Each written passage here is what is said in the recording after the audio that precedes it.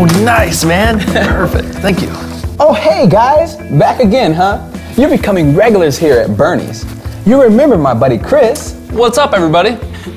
He's digging himself out of credit card debt. While we go on break, let's take another look at his statements and get his credit card problem solved. Small purchases really add up over time. Look at that balance. I've already explained to Chris that in order to pay off his balance, he should stop making purchases on the card. Right, Chris? I'm cutting him up right now. nice. But remember, the debt doesn't go away. What he needs is a good strategy for paying off his credit card balance. On every statement, you will find the minimum payment due. This is the smallest amount you can pay each month.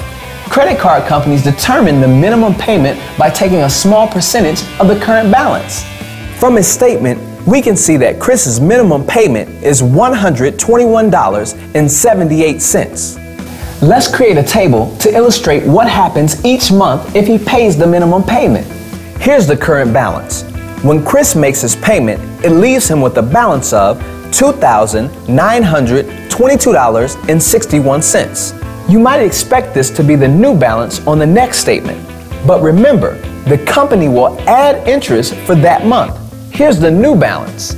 Since the balance for month two will decrease, his minimum payment will also decrease. As long as he hasn't made any additional purchases, the current balance and minimum due will continue to decrease each month. So, how long will it take to pay off his balance? If Chris only makes the minimum payment each month, it would take 11 years and 7 months. That's almost 12 years. But here's the most painful part.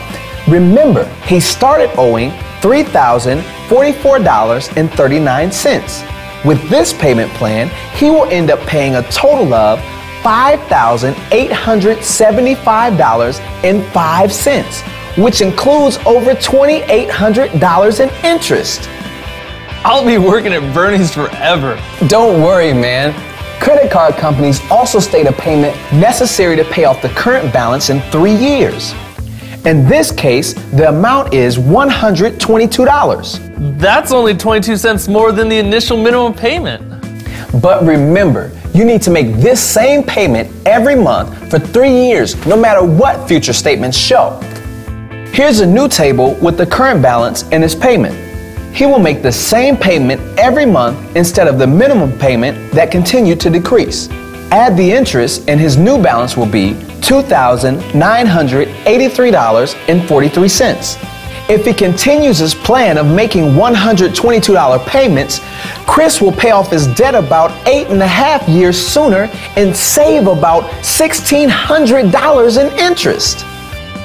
I can't afford not to pay the $122. It's a no brainer, but pay close attention to what will be on the next monthly statement. The minimum payment has been reduced as expected.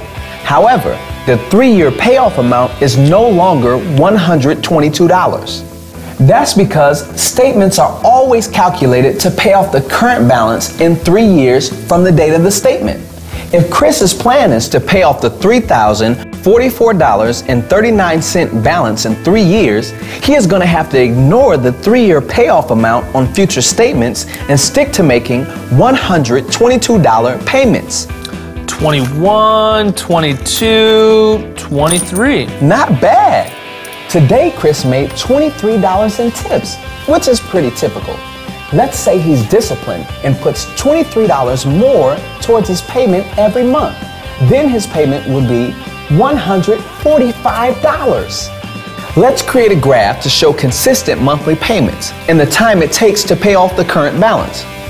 Here's $122 payments, and here's $145 payments, a $23 difference. By paying the additional $23 each month, he will pay off his balance seven months sooner. If we plot all possible monthly payments, the graph will look like this. It's important to remember that as the payment increases, the time necessary to pay it off decreases.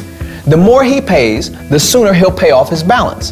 For example, if he would make $300 payments, he would pay the balance off in about one year. Make sense? But be careful when interpreting the graph. Adding $23 to any monthly payment may not result in paying off the balance seven months earlier.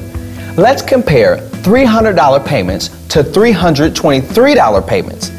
Adding the extra $23 to his $300 payment only reduces the time by one month. When he changed his payment from $122 to $145, he shortened his repayment by seven months. But when he changed his payment from $300 to $323, still a $23 difference, he only gained one month.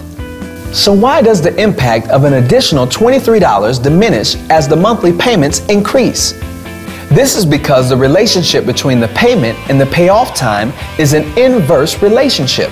As the payment increases, the amount of time decreases at a decreasing rate. Understanding these concepts will help you in creating a budget to pay off your credit card balance. You're on your way to being debt free. Finally. Problem solved. Hey, you ready to get back to work? How about another fry?